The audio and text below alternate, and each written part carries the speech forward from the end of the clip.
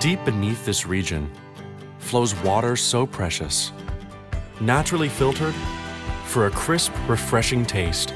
Discover Deer Park 100% natural spring water, now in a better bottle.